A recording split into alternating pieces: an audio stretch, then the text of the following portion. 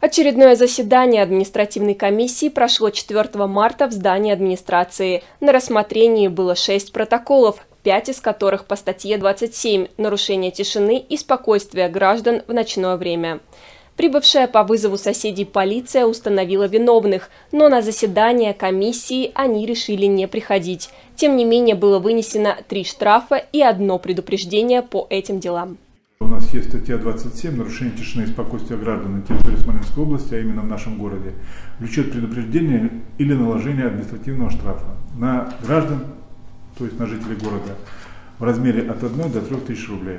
Также было рассмотрено одно дело по нарушению правил парковки автомобиля. По причине истечения срока давности производство по нему было прекращено. Заседание административной комиссии прошло в преддверии Международного женского дня. Председатель комиссии Владимир Исаев поздравил женщин коллектива с наступающим праздником и пожелал плодотворной работы.